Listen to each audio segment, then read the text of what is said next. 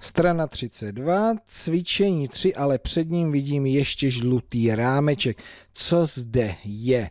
Vidím zde litrovou láhev a šipky nám znázorňují, že objem tekutiny nebo množství tekutiny, které obsahují tyto dvě půl litrové láhve by se do jednoho litru vešly, stejně tak jako objem, čili množství tekutiny ve čtyřech čtvrt litrových skleničkách se nám vejde do dvou půllitrových lahví nebo do jedné litrové. Zde je to zapsáno pomocí desetinných čísel, no a zde to je zapsáno pomocí zlomků.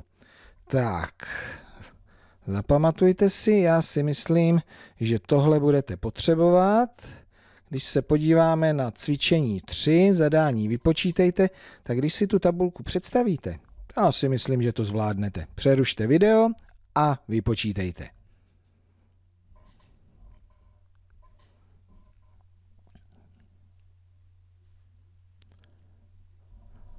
Tak jakým výsledkům jste se dobrali? Tak jedna čtvrtina hektolitru plus polovina hektolitru musíme dát na čtvrtiny, takže jedna polovina to jsou dvě čtvrtiny, takže to je tři čtvrtiny hektolitru.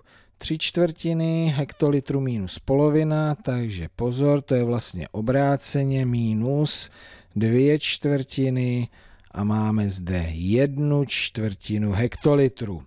Tak, v desetinných číslech tady si pomohu jenom takhle nulou, 0,50 litru plus 0,25 litru rovná se 0,75 litru. Tak, tady zase si pomůžu takhle nulou, 1,25 setin litru minus 0,50 setin litru, to se rovná zase, jo, 0,75 setin litru. Tak a tady to je takhle. No, ale co, já tohle to převedu na desetininá čísla a to je daleko lepší, takže tohle to je jeden decilitr, celý, půl a půl, No a jak to uděláme tady?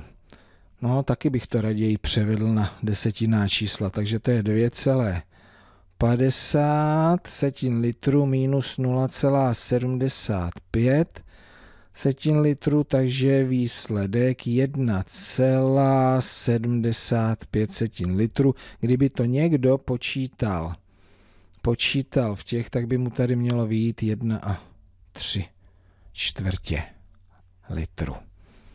Tak, podíváme se na řešení. Ano, ano. Ano, ano, ano.